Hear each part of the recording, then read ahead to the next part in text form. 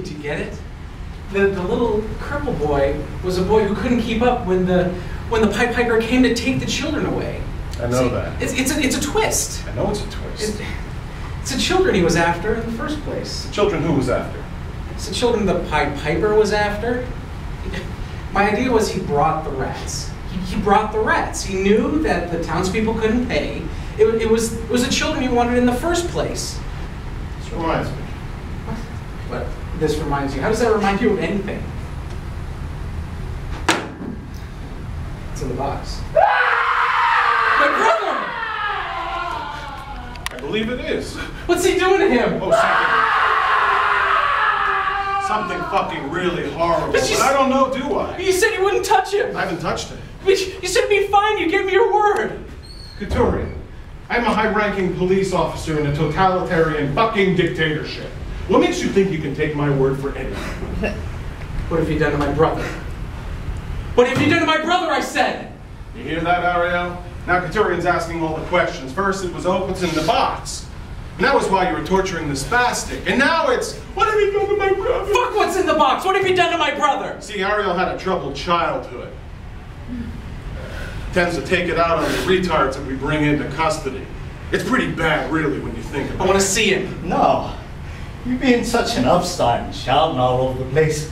I usually would have smashed your face in by now. But since I've just been doing that to your spastic brother, my hand really hurts.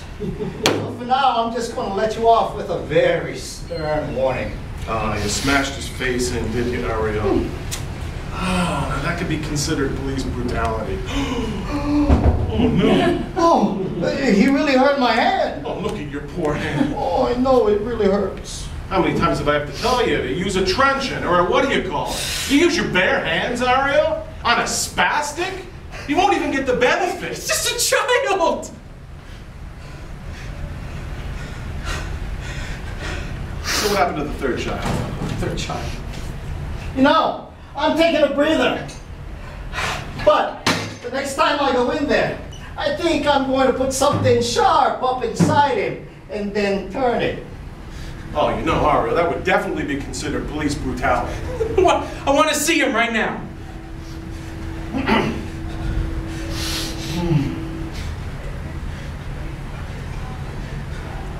What happened to the third child?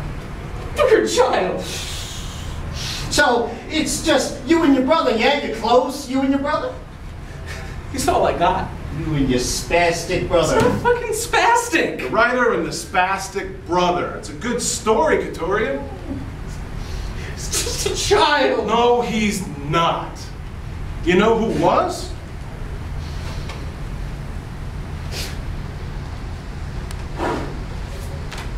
Andrea Jovacovic was. You know who she was?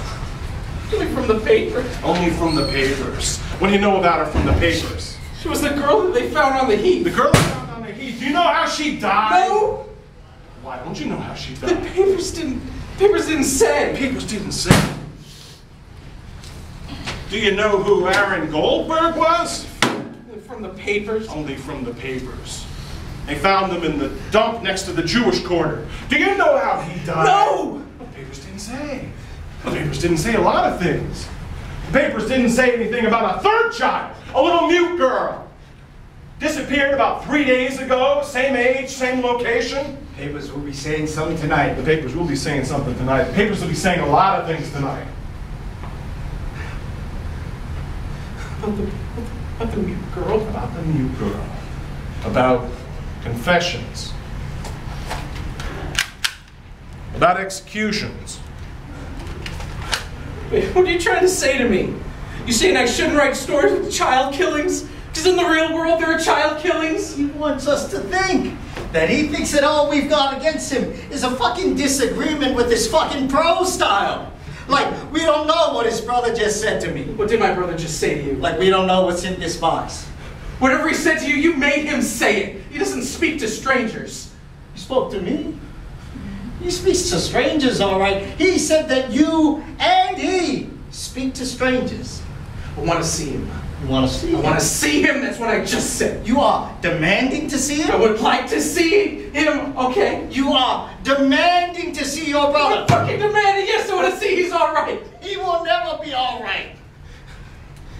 I've got a right to see my brother. You've got no rights. Sit down, please. Not no more. You ain't got no rights. I rights. got rights. Everyone's got rights. You ain't. Oh, why ain't I? Open the box. What? I'll give you your fucking rights. Yeah, like I bet you gave my brother his rights. Open the box. I gave him his rights, all right. Yeah, I bet you did. I bet you fucking did. No, I bet I fucking did. No. Open the fucking box. Open the fucking box.